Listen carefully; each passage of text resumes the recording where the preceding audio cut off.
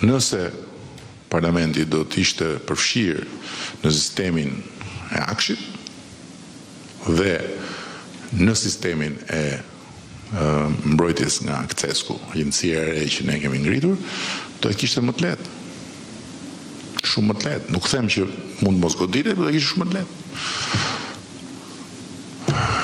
Në këtë sens, Inovacioni është një problem në rast se ne nuk i marrim të gjitha të mirat dhe nga ana tjetër është një bekim për vendet si yni që përmes inovacionit mund bëjnë kapërcime që në kohën para teknologjisë së lartë do ishin të pamundura. Sepse në kohën para teknologjisë së lartë, kur prodhohej një një makinë e re shkrimi, do ta merrnin një herë ata që e prodhonin, do ta blenin një herë ata që kishin mundësi ta blenin menjëherë, pastaj kur të vinte radha ke ne, ata do kishin prodhuar makinën tjetër të shkrimit. Kurse kështu Secili vrapon sipas dëshirës që ka për të vrapuar dhe nga ana tjetër mungesa e sistemeve të mirë të mirë strukturuara të cilat funksionojnë si duhet me letra bëjnë që ti të kesh shumë më tepër hapësirë për të ecur me teknologjinë.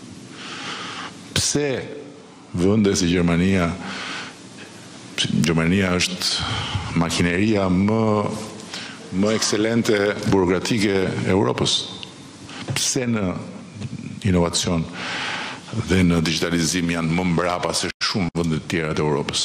Pse Estonia u bë vendi lider i Europës duke qenë një vend i vogël dhe shumë shumë shumë shumë shumë më i prapambetur sa Gjermania? Sepse të kthesh një makinë të madhe Një anije të madhe është shumë më e vështirë se sa të kthesh një varkë që nuk i ka të gjitha ato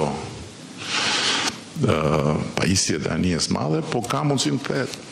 Kështu që në këtë sens inovacioni. Dhe kultura është bashkuar aty për t'i dhënë mundësi vetes që të shfrytëzojmë shumë më tepër potencialin që kultura ka për ekonominë.